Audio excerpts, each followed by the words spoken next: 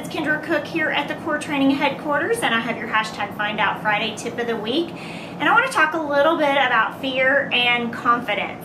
Um, we are about to round out month one of the new year, and I can already start feeling uh, people saying, well, it's okay if I don't hit my goals, or, you know, the market's changing, or business is going to be different.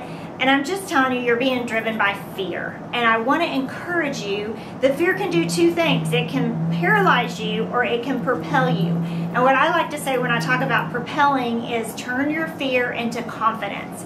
You can do anything you want if you set your mind to it, put an action plan in place, and have the confidence to get it done. So, I want to encourage you, month one in, we got 11 months to go, folks. We got a long way to go and a long time to get there, so I can't have you burning out now. So, I want to make sure that you understand that if you want to do something, you can do it if you have the confidence to do it. So you can stay where you are in fear or you can go where you want to go with confidence. That's your choice today.